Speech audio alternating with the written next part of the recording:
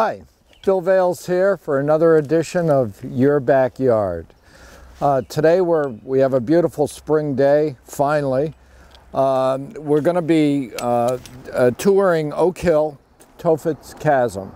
And I have to say up front that I've had a dilemma whether or not to pronounce this Toffets or Tofets. So I'm going to opt for uh, Tophet's Chasm.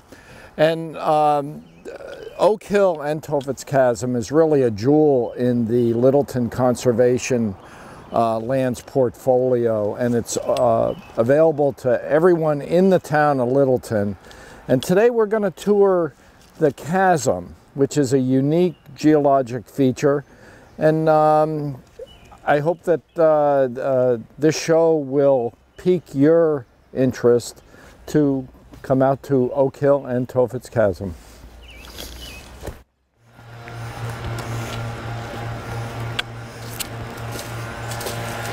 We just traveled up the main, the main road and straight ahead is the path to Lookout Rock and to the right here is the Tophet's Chasm. Now, as you can probably hear in the background, this is springtime and people are blowing their leaves, if, if you can hear that. Uh, we're now going to take this right turn and we're going to head into Tophet's Chasm.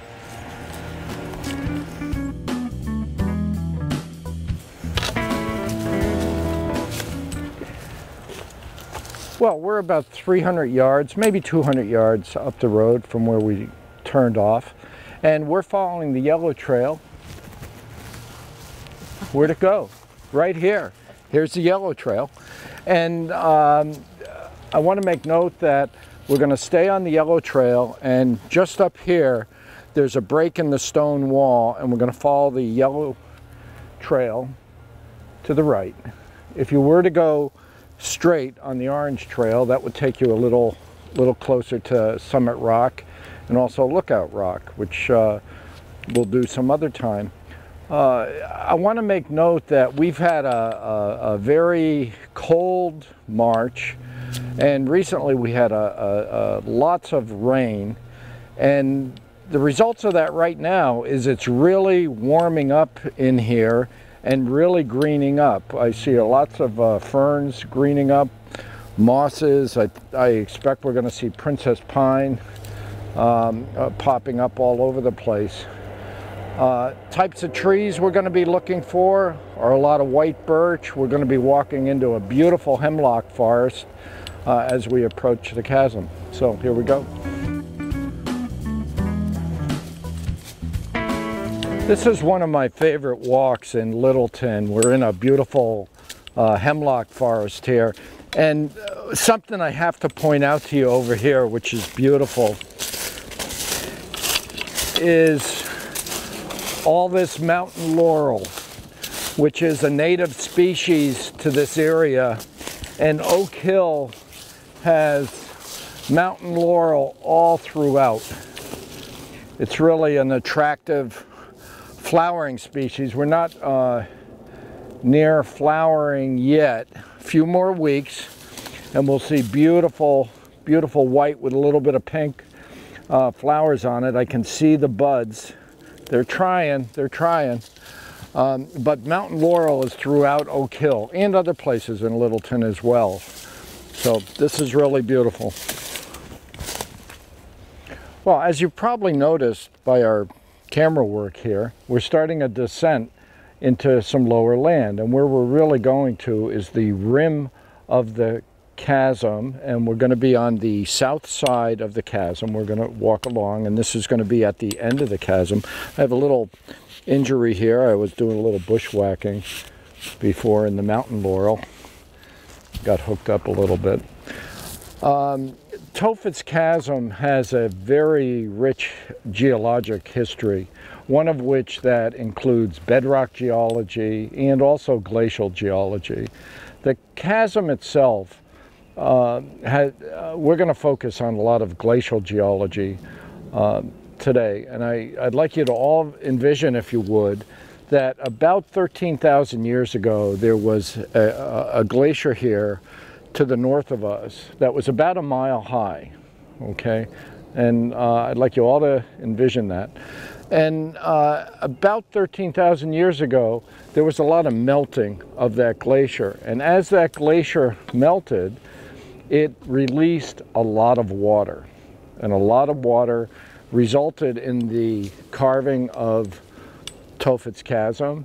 It uh, also accounted for the shaping of our various river areas, such as the Nashua um, uh, watershed, the Stony Brook watershed, the Merrimack watershed. All our watersheds here owe a lot of the um, directions they take and the landforms that we see around them to the melting glacier. So I'd like to, you to keep that in mind as we continue our descent into Tophet's Chasm. Okay, we've just turned the corner uh, on the on the south wall as we come into the chasm, and uh, just to orient everyone here, uh, we're on the south wall. This is the south wall of the canyon uh, uh, of the chasm. The north wall is over here. The east opening, which is where all the water went out, is to my left, and the west, which will be the head wall of the chasm, is up here. Now, what I'm standing in here is a what's thought to be a glacial meltwater channel, and we're going to see several of these as we go along the uh, south wall of the chasm here. And these are depressions that are about 10 feet deep. Of course, they've been filled in uh, over the years with a lot of leaf litter and whatnot. But it's thought that as the glacier was melting, a lot of water being released was kept in its path down to the chasm by the glacier that's still holding behind us. And there's a, there's a ridge of hills over here. And part of this ridge of hills over here con consists of Lookout Rock, which is another um, uh, part of Oak Hill. Uh, but this ridge of hills, which actually extends down to Shrewsbury, it's called the Shrewsbury Ridge, kept the water in these channels. And we're going to see several of these channels as we walk along, along the south wall.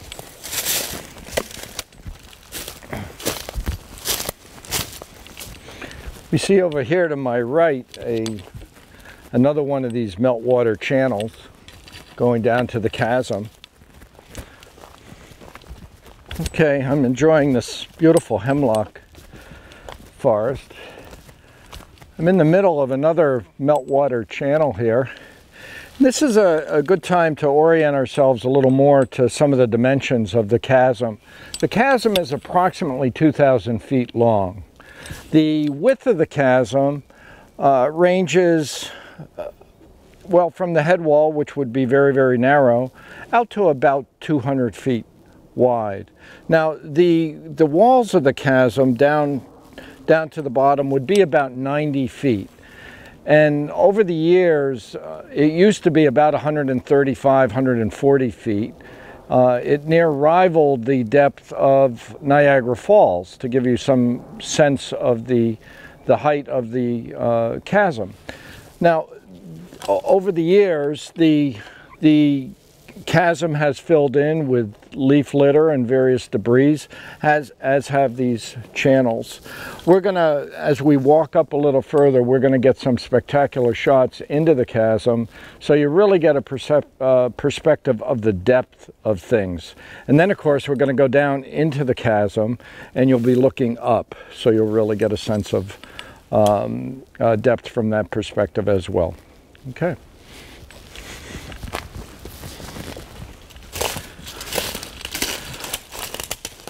This should give you a sense of the depth of the chasm here. As we look down, you can see water in the chasm, which I'd expect with all the, with all the uh, rain that we've had. We're probably 90 feet above the chasm. We're not at the highest point yet. We're going to um, have, have some much higher points, and we're going to see a lot more bedrock exposed uh, along the way. And when we, when we see that, um, I have lots to say about that. Uh, something that, I, that my eye is being attracted to here is as I look at a number of these trees, is I can see there's been sloping of the land that has moved these trees out along the the uh, roots and um, uh, that's very interesting to, to give you some sense of how this land has been moving down okay pressing on these trees as they grow the the roots move down. Um, this is pretty steep probably well it's pretty steep. It's going to get a lot steeper for sure. The camera crew is doing a great job holding the camera up. Well, isn't this nice, walking along the south wall. have a nice, nice chair here that someone has put. And I'm sitting down next to the second glacial erratic that we see coming along the south wall. I'm somewhat distracted about some of the bird sounds. Yay, we're out early, sort of. Uh, but we have a, uh, a, woodpecker that's really doing some drumming in the background and I hear some chickadees throughout, some titmice. And this glacial erratic here is a combination of material, which is interesting. We have a pegmatite here that has intruded into some granitic gneiss. And uh, it, it, it's a combination. and uh, this was formed under the surface of the earth, and over time, when the glacier um, did its advanced and grinding, it eroded rock like this, carried it in its in its load, and dropped it as glacial till. And we see uh, our landscape in Oak Hill, and for that matter, in New England, just littered with glacial till, rocks and cobbles and boulders of all different sizes. And this is one example of a glacial erratic. And an interesting thing about a glacial erratic is it may have traveled feet or it may have traveled many, many miles from its original source. I can look down into the chasm here and I can see that there's a lot of water in the chasm. And uh, this past year, I had walked all through the chasm uh, and there was no water because we were in a drought situation. But now the chasm appears to be full of water, but we're not going to let that deter us from going down into the chasm. We're going to work our way down there. So um, finding this chair was a lovely treat. So we'll continue on.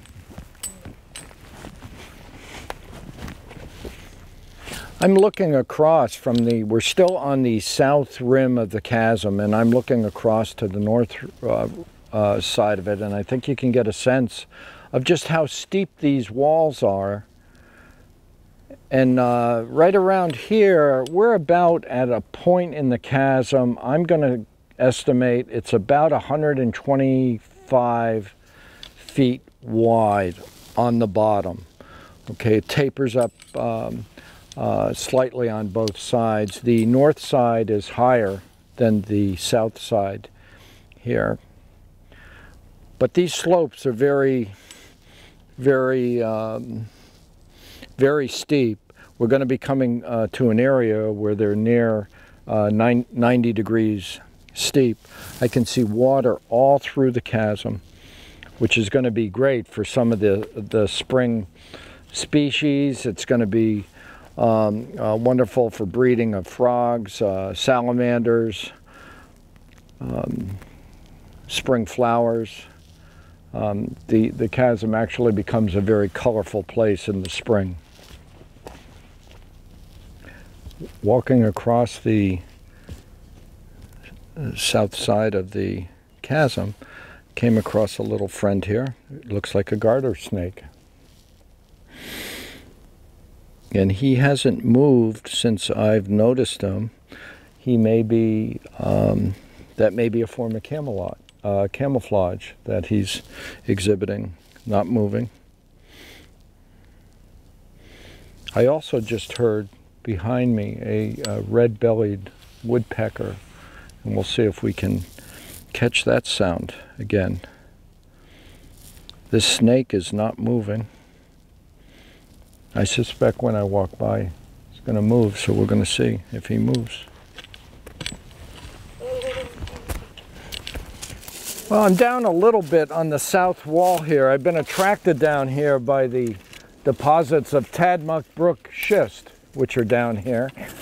And you get a sense for the steepness of this. It worked my way up. I can feel the moss, how wet it is.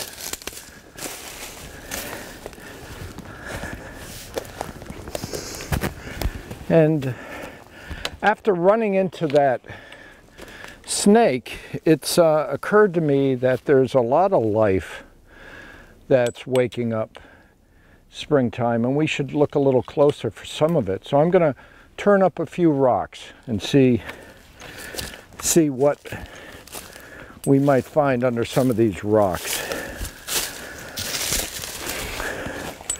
Now I know there's ticks out. Ticks are in season. I've been pulling them off of myself already. These are examples of the Tadmuck Brook schist, and I'll talk more about that, how shiny it is. I don't see anything here. Let's see what might be living under here.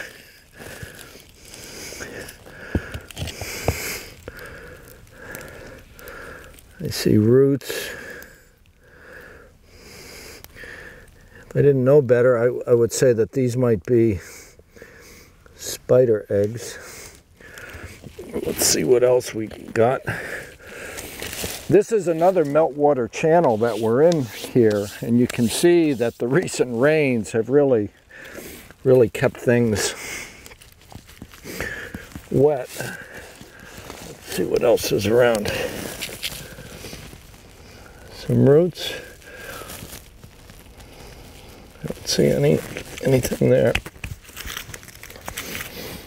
Okay, well, we'll pull some more up when we get down into the chasm. I have been hearing a, red-bellied woodpecker quite a bit, so that's a good sign. Um, okay, that's a red-tailed hawk that just zoomed by us. Beautiful markings on it. The tail was quite orange underneath, which you really can't count on for all red-tailed hawks. Still on the south rim of the chasm, and this is one of the larger glacial erratics. This one is actually nicknamed Egg Rock.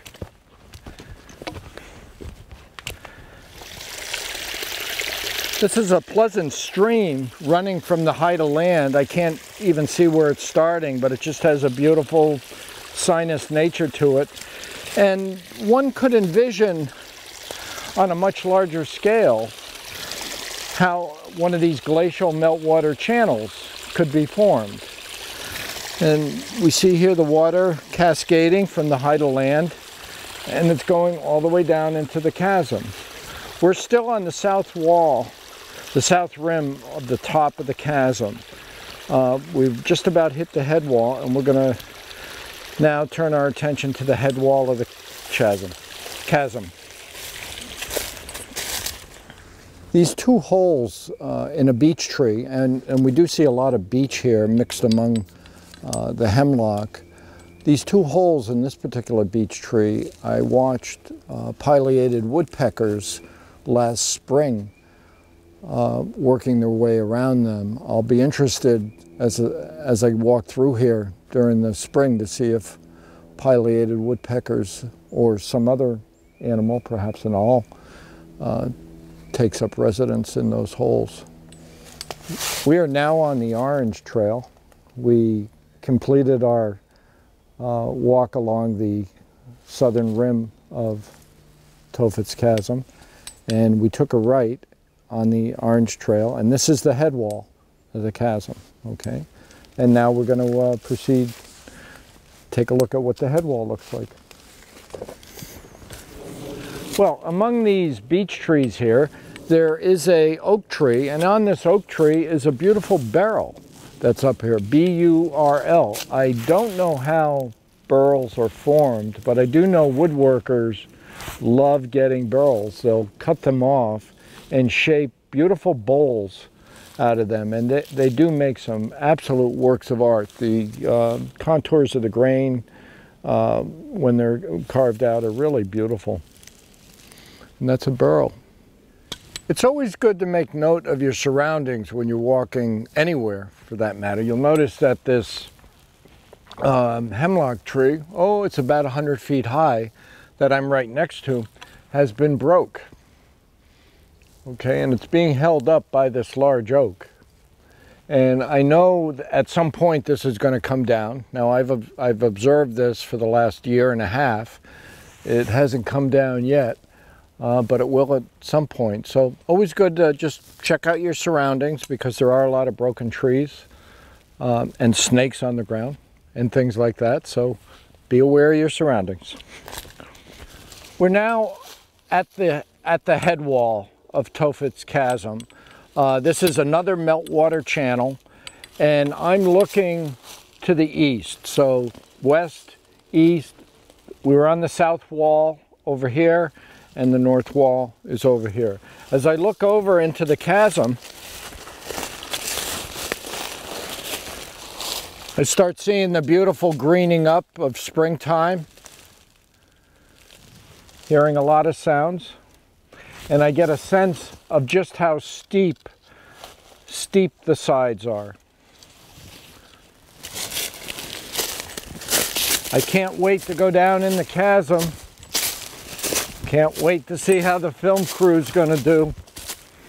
Okay, we're now on the north side of the uh, rim of Tophet's Chasm, and we're roughly paralleling Harvard Road, which is probably a quarter of a mile to my right. And the significant thing about uh, Harvard Road and that location is that tends to be the trending direction of the Clinton-Newbury Fault, which is a significant fault line that runs actually from eastern Connecticut up to uh, through Clinton, Mass, and up up to Newbury, uh, Newbury, Massachusetts, and it does affect uh, the geologic setting of Tophet's Chasm. But what I wanted to uh, uh, mention here is this beautiful outcrop of quartzite. And this is a, a uh, metamorphic rock, meaning that it was subjected to um, high pressure at great depth.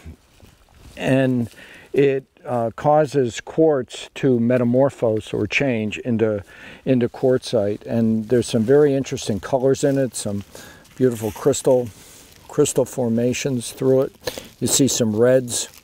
Some of the reds and oranges could be uh, iron that's um, rusting, oxidizing, and that's quartzite. But another significant rock that we're going to see here is the Tadmuck Brook schist. And the Tadmuck Brook schist that we see in Tophet's Chasm tends to be uh, massive in size. We'll see some boulders down here that are bigger than houses. Um, and this is formed under uh, high compressional uh, forces of continents moving together. And you can see it becomes very platy. Okay, that, it, that it's effectively layered from the compressional forces pushing it together. And it's not all that competent, meaning, you know, if you work at it, you can break it up fairly easily. But this is a Tadmuck Brook schist, and it's um, fairly unique to Oak Hill, and uh, it was named after the Tadmuck Brook, which is in Westford, Massachusetts. Okay, Tadmuck Brook schist. Okay, we moved from the head wall. We're now on the north trail, which is actually back on the on the yellow trail on the north side of the um, chasm. And uh, we see here uh, water flowing down into these beautiful vernal pools that collect here. And uh, the, these vernal pools really serve a valuable um, uh, role in the wetlands ecology because this allows uh, uh, small creatures to breed, tadpoles, frogs, and other small uh, creatures to breed. And the thing with vernal pools uh, that makes them unique is there's no fish in them. Okay, so the animals can breed without the worry of being um, uh, predated, pred predated um, uh, by fish. And these vernal pools, uh, these are actually uh, larger than I've ever seen them. Okay, normally there's just the one back there, but uh, I see this year they've really expanded. We have water running down, and um, that's what that is. Well, we finished our traverse of Tophet's Chasm. We're ending here on the north rim of the chasm. I hope you've enjoyed this show. I've really enjoyed uh, walking around here with the camera crew today. And um, for our next edition of Your Backyard, we're going to go down into the chasm and we're going to see a whole different world down there. We'll see you next time.